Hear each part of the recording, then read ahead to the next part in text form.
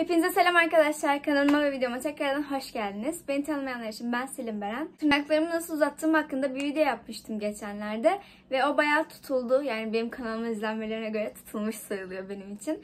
Ve çok mutlu oldum. Tam tamına 23 bin izlenme aldı ve bu benim için çok büyük bir rakam.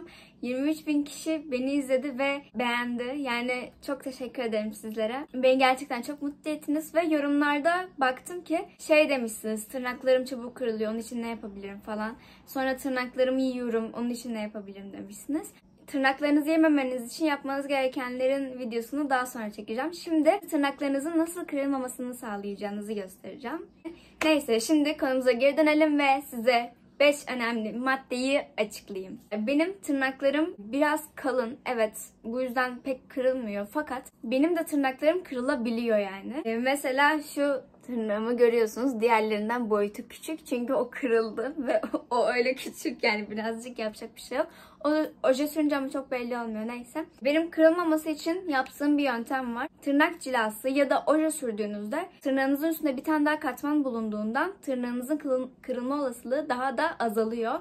E, bu gerçekten işe yarayan bir yöntem. Çünkü benim tırnağım ne zaman kırılsa bir bakıyorum ojesiz ya da cilasız ama Tabii ki de şunu demiyorum hani her gün tırnak cilası ya da her gün oje sürün demiyorum. Bu da zararlı ama hani haftada 3-4 gün en azından cila yaparsanız hani kırılma olasılığı biraz daha azalıyor. İkinci maddemiz ise mesela tırnaklarımızı kesiyoruz ya hani böyle tabii ki pürüzsüz bir şekilde kesemiyoruz o oval şeyini yapamıyoruz yani. Belki yapıyorsunuzdur bilemiyorum ama şu an yapamayanlar için söylüyorum. Ben de yapamıyorum bu arada. Böyle çok pürüzsüz kesemiyoruz tırnağımızı. Onu da gidermek için hemen törpülüyoruz tırnağımızı kestikten sonra.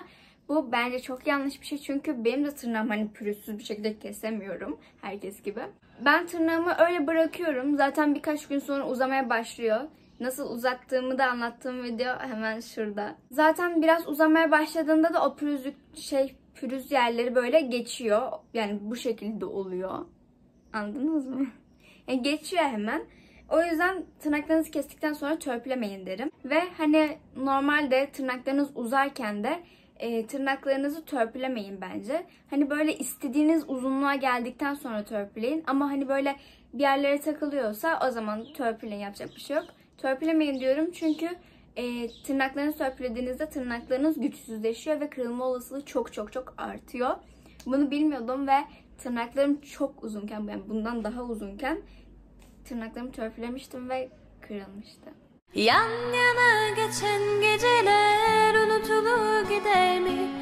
Acılar birden biter mi? Neyse bir daha da törpülemedim zaten takılmadığı sürece. Geçelim üçüncü Geçelim üçüncü ve dördüncü maddemize. Bunu şu videomda söylemiştim e, ama yine söylüyorum çünkü bu da tırnaklarımın hem uzamasını hem de kırılmamasını sağlayan bir şey. Tırnaklarınızı suda nemlendirmelisiniz. Dördüncü olarak da bol bol su içmelisiniz. Zaten her insanın günlük içmesi gereken bir su miktarı vardır.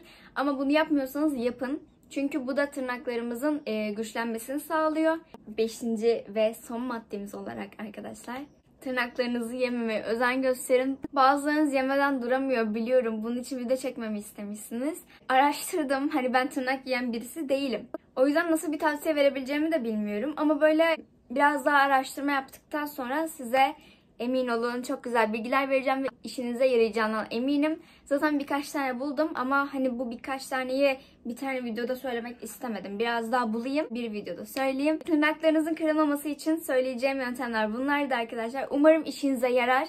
Şu videomdan çok fazla sonuç aldım. Bu beni çok mutlu etti. Eğer tırnaklarınız uzamıyorsa da şu videomu izleyip o yöntemleri de uygulayıp tırnaklarınızı güzel ve sağlıklı bir şekilde uzatabilirsiniz. Sizleri çok seviyorum. Diğer videolarımda da görüşmek için bana abone olmayı unutmayın ve videomu beğendiyseniz like tuşuna basmayı unutmayın. Sizleri çok seviyorum.